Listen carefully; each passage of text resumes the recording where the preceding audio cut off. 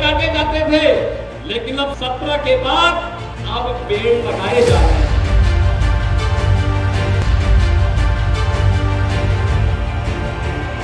कि अगर उनकी सरकार आएगी तो सारा बुलडोजर गोरखपुर की तरफ़ कूच करेगा। मुख्यमंत्री योगी आदित्यनाथ ने गोरखपुर में जटायु संरक्षण और प्रजनन केंद्र का उद्घाटन किया है। और यूपी के विकास पर प्रकाश डाला है। उन्होंने कहा कि यूपी में हाईवे रेलवे मेट्रो और एयर कनेक्टिविटी में तेज़ी से सुधार हो रहा है। और गोरखपुर में भी महत्वपूर्ण परियोजनाएँ चल रही हैं जैसे खाद कारखाना एम्स और बेहतर सड़कों का निर्माण। कार्यक्रम के दौरान और क्या कुछ बोले योगी आदित्यनाथ आइए आपको सुनाते हैं।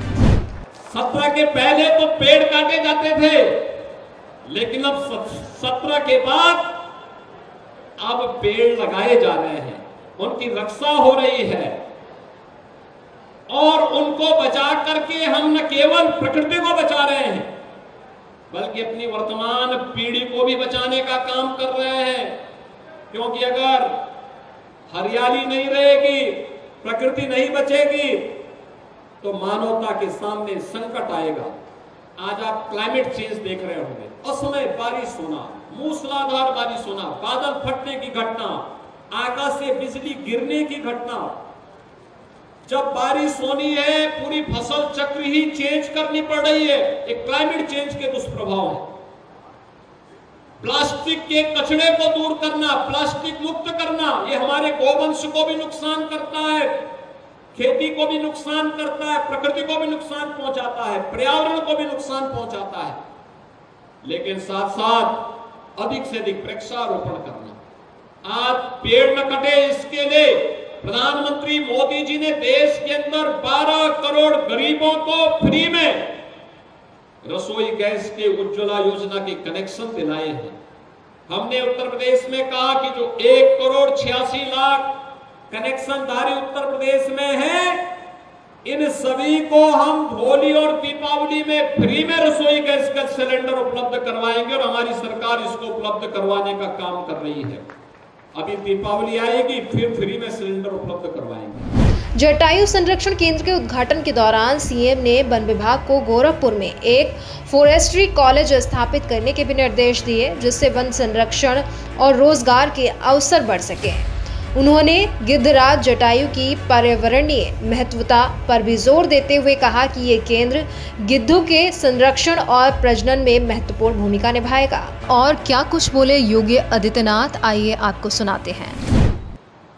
आज हरियाली तीज है और हरियाली तीज के पावन पर्व पर हम सब आज अपनी वैदिक और पौराणिक कालीन परंपरा के प्रति कृतज्ञता ज्ञापित करते हुए जटायु संरक्षण केंद्र के लोकार्पण के साथ जुड़ रहे हैं। रामायण काल का पहला बलिदानी, जिसने धर्म के लिए नारी, गरिमा और रक्षा के लिए अपने आप को बलिदान किया था तो वह वीर बलिदानी कोई और नहीं था, बल्कि गिद्धराज जटायु थे। और गिद्धराज जटायु के प्रति, उनकी वर्तमान पीढ़ी के प्रति कृतज्ञता ज्ञापित करने के लिए हरियाली तीज पर हम सब कैंपियरगंज के इस जंगल में एकत्र हुए हैं। मैं इस अवसर पर हरियाली तीज की प्रदेशवासियों को और आप सबको बधाई देते हुए, सभी बहनों को बधाई देते हुए, आज के जटायु संरक्षण केंद्र पर रामायण की परंपरा के प्रति भी हृदय से कृतज्ञता ज्ञापित करते हुए आप सबको बधाई देता हूँ, अपनी शुभकामनाएँ देता हूँ। वहीं इस मौके पर वन मंत्री डॉक्टर अरुण कुमार सक्सेना और सांसद रवि किशन शुक्ला ने भी कार्यक्रम को संबोधित किया। इस दौरान रवि किशन ने अखिलेश यादव के गोरखपुर तक के बुलडोजर चलने वाले बयान पर अपनी प्रतिक्रिया दी और सपा मुखिया अखिलेश यादव पर जमकर निशाना साधा। और क्या कुछ बोले रवि किशन जरा आप भी सुनिए।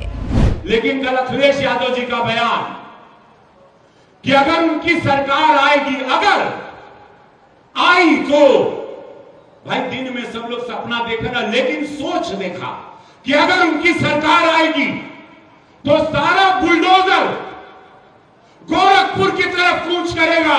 माननीय अखिलेश यादव जी, बताइए, यहाँ पर गीता प्रेस है, धर्म का सबसे बड़ी संस्था, जहाँ हमारे हिंदुओं के धर्म की किताबें छपती हैं। माननीय अखिलेश यादव जी, नाथ संप्रदा का सबसे बड़ा पीठ है गोरक्ष पीठ। तो क्या आपका आपने बात की, वो कहाँ जाने वाला है? गीता प्रेस पर, गोरक्ष पीठ पर। यह भी बताइएगा ज़रूर, ये सोच, ये मंशा आपकी बहुत ही खतरनाक है, अखिलेश यादव जी।